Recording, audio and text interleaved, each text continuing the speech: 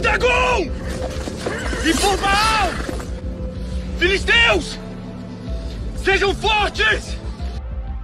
Graça e paz, meu irmão e minha irmã. Você está no canal Conectados com Jesus e Sintonizados com o Mundo. No vídeo de hoje, vamos falar como os filisteus venceram a batalha contra Israel e mataram Saul e seus três filhos. Aqui neste canal, não estamos apenas contando histórias, estamos mudando vidas através da palavra do Senhor. Então, por favor, ajude os nossos vídeos a mudarem mais vidas. Curta e compartilhe-os. E caso você ainda não for inscrito aqui no canal, se inscreva, ok?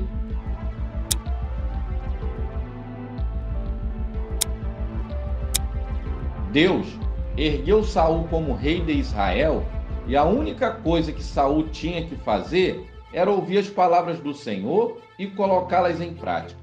Pois Saul foi colocado numa posição em que iria governar o povo de Deus e, portanto, ele precisava escutar o Senhor Deus, que era o seu verdadeiro soberano. Saul tinha um futuro promissor e no começo do seu reinado ele teve dificuldade e medo para liderar o povo de Israel. Mas com o passar do tempo, ele foi aprendendo e se adaptando à sua nova função. Saul venceu muitas batalhas com a ajuda do Senhor Deus. Porém, Saul chegou a um grau de soberba que ele achava que as vitórias que Israel conquistava sobre os seus inimigos vinha da força do seu rei.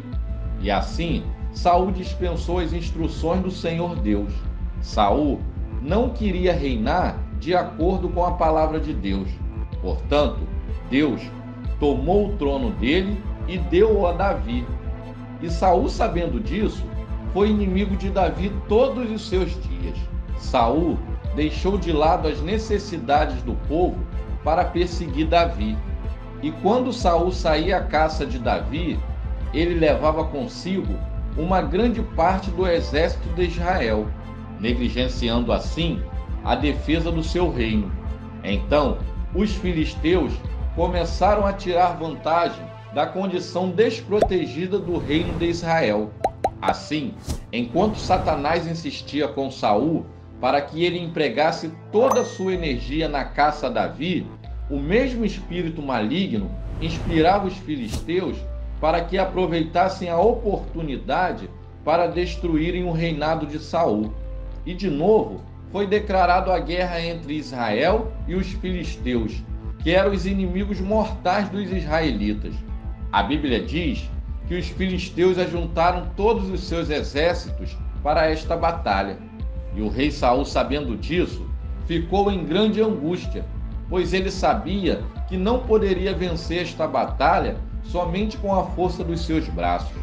Ele então resolve pedir as instruções de Deus Porém, o Senhor Deus não lhe respondeu, nem por sonhos, nem por profetas e nem por Urim.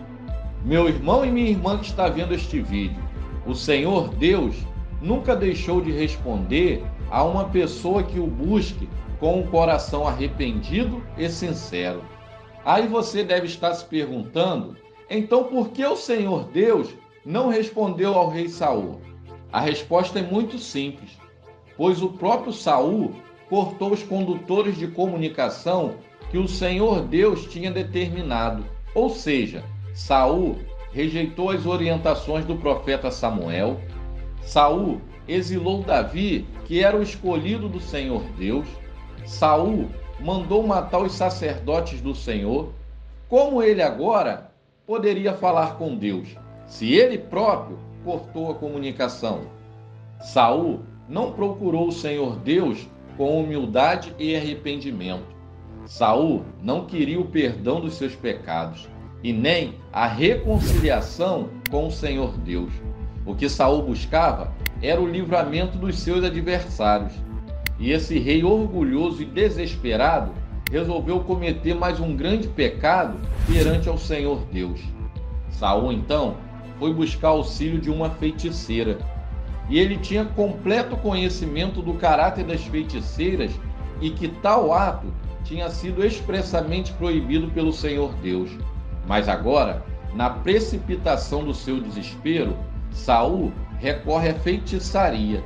E após ser iludido por Satanás através da feitiçaria, Saul voltou com seus criados ao acampamento de Israel para se preparar para a sua última batalha. A Bíblia diz que em combate com os filisteus, os soldados israelitas foram postos em fuga e muitos caíram mortos no monte Gilboá. Houve uma intensa batalha e os soldados filisteus perseguiram Saul e seus filhos e mataram Jonatas, Abinadab e Malquissua, os três filhos do rei Saul. O combate foi se tornando cada vez mais violento em torno de Saul, até que os frecheiros filisteus o alcançaram e o feriram gravemente.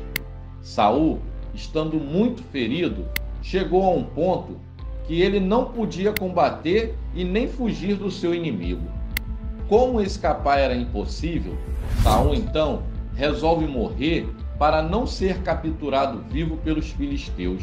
E disse Saul ao seu pajem de armas: Tire a sua espada e mate-me com ela. Senão, sofrerei a vergonha de cair nas mãos desses incircuncisos. Mas seu pajem de armas estava apavorado e não quis fazê-lo. Saul então pegou a sua própria espada e jogou-se sobre ela. Quando o pajem de armas viu que o rei Saul estava morto, jogou-se também sobre a sua espada e morreu com ele. De maneira que Saul, seus três filhos, seu pajem de armas e todos os soldados morreram juntos naquele dia. Quando os israelitas que habitavam do outro lado do vale, a leste do Jordão, viram que uma parte do exército tinha fugido com medo e a outra parte do exército tinha morrido em batalha junto com o rei Saul e seus três filhos, eles fugiram, abandonando as suas cidades. No dia seguinte a esta batalha, os filisteus, examinando o campo de batalha para recolher os despojos da guerra, encontraram Saul e seus três filhos caídos no monte Gilboá. Os filisteus então cortaram a cabeça de Saul, pegaram suas armas e enviaram mensageiros por toda a terra dos filisteus, proclamando a notícia nos templos dos seus ídolos e entre seu povo.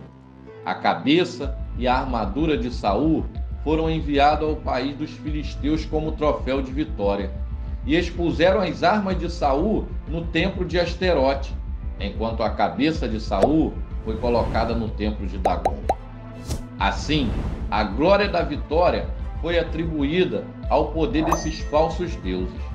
Os filisteus arrastaram os cadáveres de Saul e dos seus filhos até a cidade de Bet-Sem, que era próximo de Gilboá. Ali foram suspensos concorrentes para serem devorados pelas aves de rapina.